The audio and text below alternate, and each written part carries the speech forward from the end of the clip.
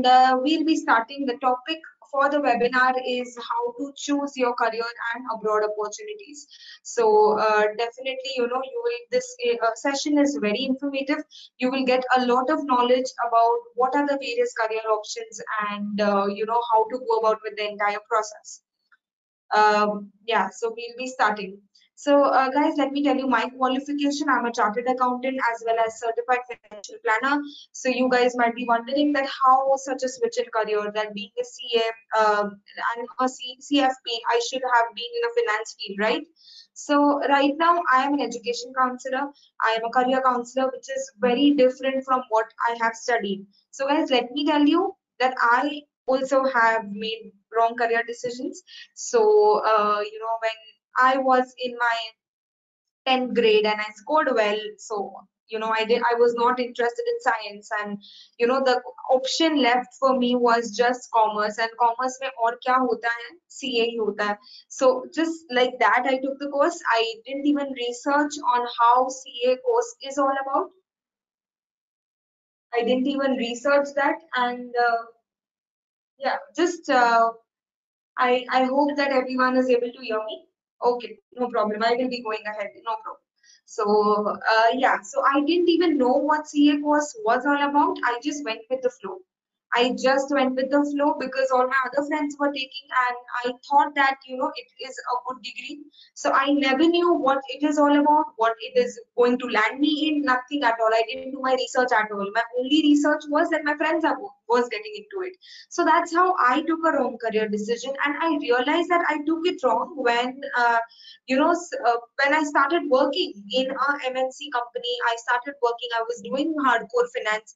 I understood that I cannot become become an expert in this field at all so you know that's the reason i took a stand and i thought that you know there are so many students like me who are taking wrong career choices in their life and are regretting or they are doing uh, you know they are not happy in their life overall. So that's how i realized that this is this field is has a lot of scope. There are a lot of there are dearth of good counselors uh, which made me realize that i should get into this and you know make a difference in students life and overall i researched thoroughly on how to counsel a particular student. It's been like more than five to six years i'm into this and i have successfully counseled more than 2000 students. So this was a brief intro about myself. So now what, you know, why did I tell you my entire story? The entire story was, uh, you know, told so that, you know, you draw conclusions out of it, like how to choose a particular career.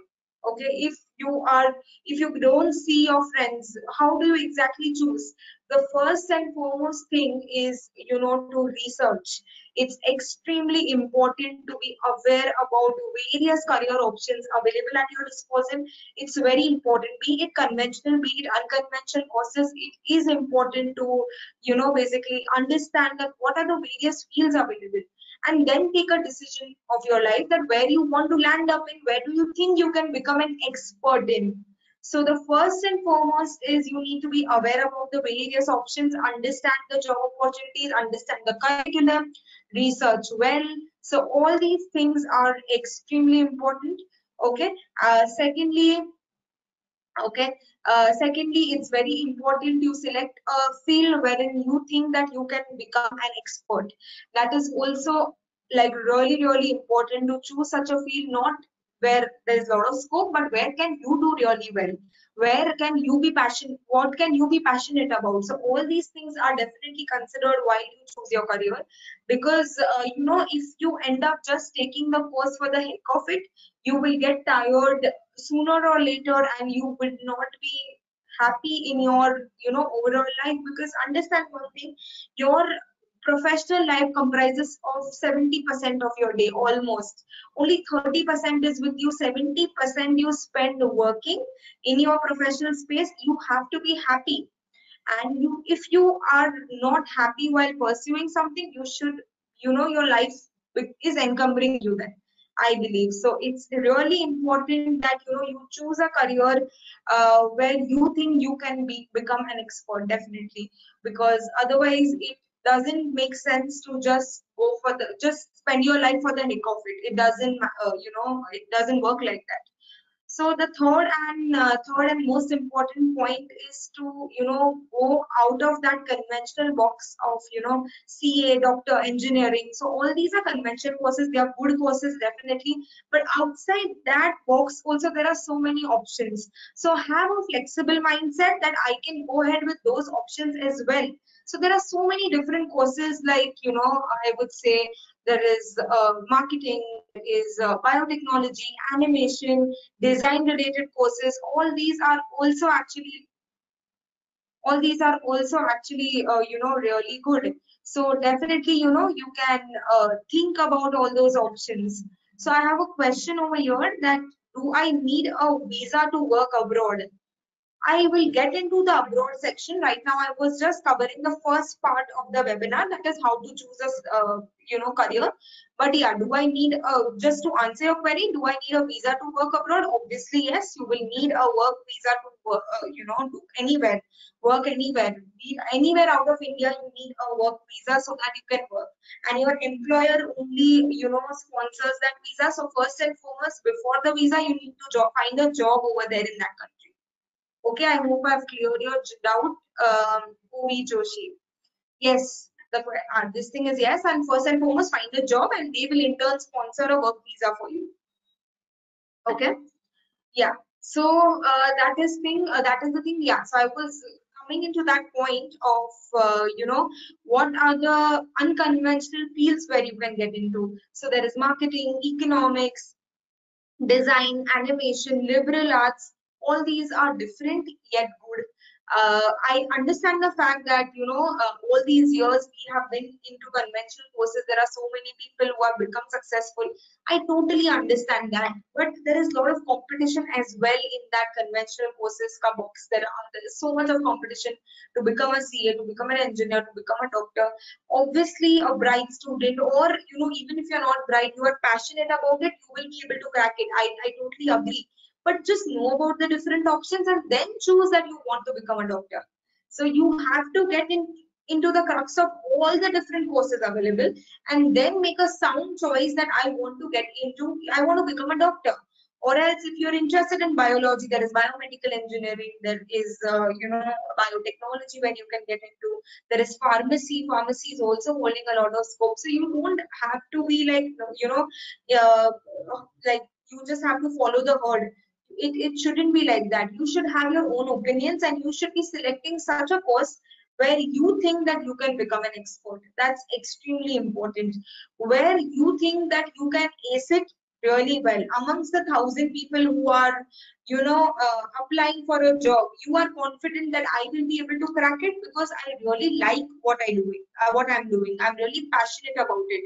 All those things need to be there uh, you know within you so that you end up becoming really successful in whichever career you are choosing. That can be conventional that can be non-conventional anything is fine. And there are so many different fields which are coming these days so many. So it's always better you research about it and based on that you know you can take a same decision, same sound choice. Okay, so this was about how to choose a career. I will repeat my points. One is you need to be aware about the various various career options available. You need to research thoroughly about the curriculum, about the job opportunities before you land into something. It's very important to be flexible and you know you choose choose a career which is uh, you know out of the box or in the box whatever it is but at least be flexible enough to know those options. It's extremely important. Then fourth is try to select those unconventional courses and do really well. Fifth is uh, you know herd mentality. I did cover that point so i would like to cover that. Don't follow the herd don't follow the herd. It is extremely important that you have your own decisions own opinions because you have your own strength weaknesses uh, you know your own uh, challenges. So you need to know yourself and make your decision based on yourself rather than someone else making a decision for you. So it's very important that you do not follow the herd mentality So that's uh, you know about how a particular career is chosen. Uh, i would like to get into the abroad part as well. So when i said that you need to be flexible enough to know your opinions you should also be flexible enough to think about abroad opportunities also while selecting your career. It's extremely important. Extremely. Uh, there are a lot of misconceptions associated with abroad education the first and foremost it being very costly. And that is not true that is not true at all. Abroad education is not it is slightly expensive definitely. But you know there there are countries which offer you free education. There are countries which you know is really cheap better than india as well. There are countries with great return on investment though you are initially spending more but uh, within eight to nine months the expenditure would be covered when you get a job. So amazing return on investment. So if you think a little long term so that would be a very good investment let me tell you. So you have to be very open when it comes to uh, you know selecting uh, uh, selecting whether india or abroad. So you need to consider abroad options as well and keep the misconceptions aside first, as I said, it's not costly. It's not costly. And there are so many education loans which are available right now. So many, I mean, uh, you know, we help you in that as well. Uh, education loans can make the process very seamless in a way that student can take the loan on their name only and they can repay the amount when they get the job over there. So it gets really, really seamless. Uh, so you can definitely, you know, aim for uh, such education loans as well. So, uh, you know, there are countries like Germany which offer education for free even for, uh, you know, international students. Yes, you heard right. So it's absolutely free. There are countries like UK and Ireland the, wherein the cost of the education, cost of the master's course uh, is around 20 lakhs itself. Like you complete your masters and you it's a one year masters. Vis-a-vis India mein agar aap MBA karo, so easily it's around 20 to 25 itself. So it's almost the same. When it comes to USA, the cost may go up to 40 to 45 lakhs for masters, but the first salary what you will be earning after completion of your masters would be good 70 to 80 lakhs. So your entire expenditure would be covered in just seven to eight months. And especially when it comes to United States, you get so many good opportunities when it comes to education loan. So, you know, definitely you should be having one abroad exposure in your life. Always when it comes to career counseling sessions with my students, I always recommend. So it's not necessary you stay over there completely all your life. You can come back as well to your home country that's not an issue but that exposure is something which you have to work on the exposure the personality the confidence the abroad the, uh, you know experience altogether it's really good i mean should be experiencing once in your lifetime. And there are so many good uh, you know universities over there. Indian education is little theoretical. It's more of rote learning rote learning rather than uh, you know when it comes to abroad uh, universities and abroad education it's more practical. So conceptual understanding is definitely better when it comes to abroad. So you should understand that completely. I believe that that will make you a better you know person full of knowledge because they will be teaching things from the scratch. So definitely you can aim for the master's courses. Uh, you can definitely aim for the UG courses as well. Undergrad education also you can pursue after 12th abroad. Undergrad education, I totally understand it gets way too costly but it's definitely worth it. Definitely you know if you think that you know you want to do it right after 12 you are in international boards like ib igcsc and you want to pursue your education ahead in uh, the us you can be in ssc hsc board or maybe uh, you know cbsc board isc board you can still pursue. It's not that you know you need to be just in ib or igcsc board that is a level board. It's not necessary that way you can pursue but yeah it's little little uh, you know cost uh, it's little costly. And uh, yes i mean but the exposure is definitely amazing. So if you think you can afford the education overall and you need that abroad education and you are mature enough to handle yourself at the tender age of 17 18 then definitely you can even for undergraduate abroad countries okay when it comes to the master's courses that is pretty pretty cost friendly as well and there it is a most popular uh, you know degree which is taken by international students especially indians So you can definitely aim for those courses as well, masters. When it comes to MBA courses, MBA is meant to be done after at least work experience of two to three years. That is the minimum criteria when it comes to abroad. So you can go for MBA courses as well. And um, MBA is fabulous over there and abroad. It's like very, very, uh, you know, it gives you complete idea on how to do a business, how to run a business, how to do business, and it completely changes your mindset, your thinking, your dynamism, everything everything. So, you know, but it's it has to be done after at least two to three years of work experience. So that is a major difference for masters versus MBA. That's the most popular question which is asked to me that what is the difference between masters and again what should we pursue? Masters can be done by freshers, inexperienced people immediately after the completion of your bachelor's perfectly fine because masters will give you specialized knowledge about one particular area from the scratch. So you can even change your course. For example, if you're doing economics and you want to get into finance, you can do that. If you are in design and you want to get into computer science, you can do that. Anything. You can learn anything and everything. That's not an issue.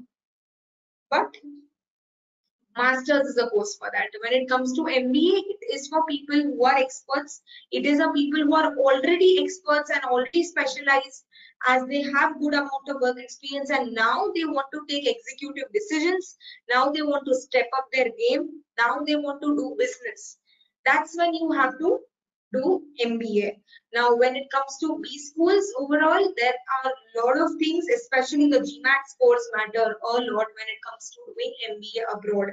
Uh, GMAT scores. When it comes to masters, uh, there is GRE score which is required in India, uh, in USA as well as Canada. Uh, but when it comes to other countries, uh, it only IELTS works. Even in Canada, only for business schools they require GRE for masters. Otherwise, all the schools work only on IELTS. So basically, only US is a country where GRE is required for masters. Rest all countries more or less work only on IELTS scores. Okay, IELTS or TOEFL scores. Now, what are these exams? IELTS and TOEFL are English proficiency tests they test that how well do you talk, speak, understand English. So it's because your native language is not English and it's some other language you are from India. So that's why you need to give this IELTS exam so that they can test that you know the course is going to be in English, English whether you are able to you will be able to cope up with the course or not. Okay, so that's how uh, you know the complete thing works. How the complete abroad education counseling, the how the processes. Like if you're aiming for September 2022 intake, the application window opens one year before, that is in September 21. The earlier you apply, better it is because uh, you know the chances for getting admitted, the chances for scholarships, everything increases a lot if you apply early. So always make sure that come for the counseling session as early as possible so that you have a very good understanding on when to begin everything. So uh, basically, we help in the complete, uh, you know, counseling. Uh, and the good news is that we take first abroad counseling session free of cost, completely free of charge, and we'll give you information about the application process, about the, you know, how to go about things. A proper timeline would be given to you. So that will be comprising in, uh, you know, the first abroad counseling session, which is absolutely free in our consultancy. So definitely you can aim for, uh, you know, uh, that. If you want that, you can definitely connect with me and I, I can help you out. So I'll be just writing my number over here so that, you know, you can, uh, guys, yeah.